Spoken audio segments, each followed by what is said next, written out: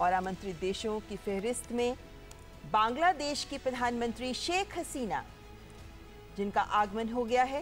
प्रधानमंत्री नरेंद्र मोदी बांग्लादेश की प्रधानमंत्री शेख हसीना का औपचारिक स्वागत करते हुए। अर्जेंटीना के राष्ट्रपति एल्बर्टो फर्नांडेस तो प्रधानमंत्री नरेंद्र मोदी अर्जेंटीना के राष्ट्रपति एल्बर्टो फर्नांडेस का स्वागत करते हुए। और इस वक्त ऑस्ट्रेलिया के प्रधानमंत्री एंथनी नॉर्मन एल्बनीजी एक बड़ी पहल ऑस्ट्रेलिया ने जिसका भरपूर समर्थन किया। प्रधानमंत्री नरेंद्र मोदी ऑस्ट्रेलिया के प्रधानमंत्री एंथनी नॉर्बन एल्बनीजी का स्वागत करते हुए जिनमें कनाडा के प्रधानमंत्री Justin Justin Pierre James Trudeau का आगमन। तो कनाडा के प्रधानमंत्री जस्टिन पियर जेम्स ट्रूडो का स्वागत करते हुए प्रधानमंत्री नरेंद्र मोदी। जी सेवन में जर्मनी की बहुत महत्वपूर्ण भूमिका जी ट्वेंटी के मंच पर जर्मनी की बहुत ही खास भूमिका वैश्विक मुद्दों पर सहमति बनाने के लिहाज से। प्रधानमंत्री नरेंद्र मोदी जर्मनी के चांसलर ओलाफ शॉल्स का स्वागत करते हुए। और इस वक्त इटली की प्रधानमंत्री जॉर्जिया मेलेनी जो इटली की पहली महिला प्रधानमंत्री हैं। और इटली ने भी भरपूर समर्थन दिया है भारत की जी ट्वेंटी प्रेसिडेंसी का। केमिस्ट्री आपकी स्क्रीन पर। प्रधानमंत्री नरेंद्र मोदी इटली के प्रधानमंत्री जॉर्जिया मेलोनी का स्वागत करते हुए। जापान के प्रधानमंत्री फुमियो किशिदा।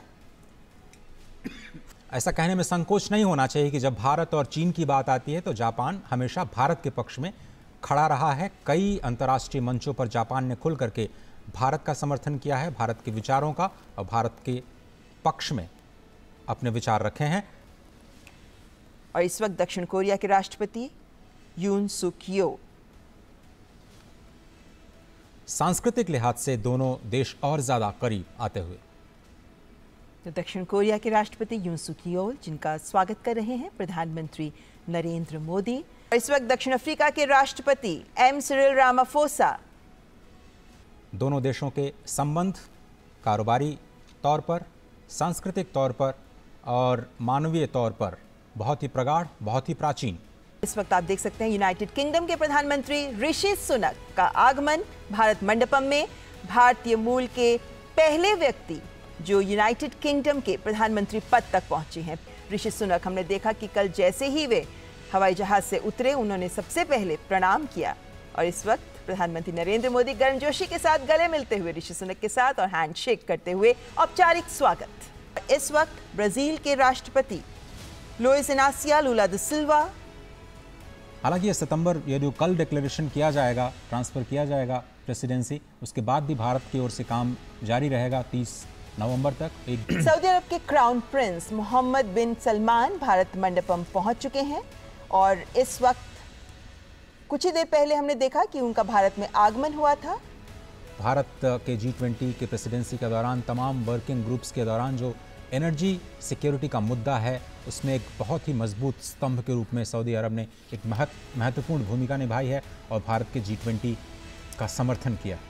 कि भारत मंडपम में यूएसए अमेरिका के राष्ट्रपति जो बाइडेन का आगमन हो चुका है। यूएनएससी की स्थायी सदस्यता का भी अमेरिका ने खुले तौर पर समर्थन किया। बदलते हुए परिदृश्य में दुनिया की सोच को बदलना ही होगा। और दुनिया की सबसे पुरानी डेमोक्रेसी दुनिया की सबसे बड़ी डेमोक्रेसी और जब प्रधानमंत्री नरेंद्र मोदी अमेरिका गए थे तब भी हमने देखा कि किस तरीके से उनका स्वागत करते हुए राष्ट्रपति और फ़र्स्ट लेडी ने प्रधानमंत्री के दोनों तरफ़ से हाथ पकड़ के वे उन्हें अपने आवास के अंदर लेकर गए थे। और वो ये दिखाता है कि दोनों देशों के राष्ट्राध्यक्षों के बीच कितने मधुर कितने करीबी संबंध हैं। और प्रधानमंत्री नरेंद्र मोदी इस वक्त पीछे चित्रित। इस चित्र को राष्ट्रपति जो बाइडेन को एक्सप्लेन करते हुए कि इसके मायने क्या हैं।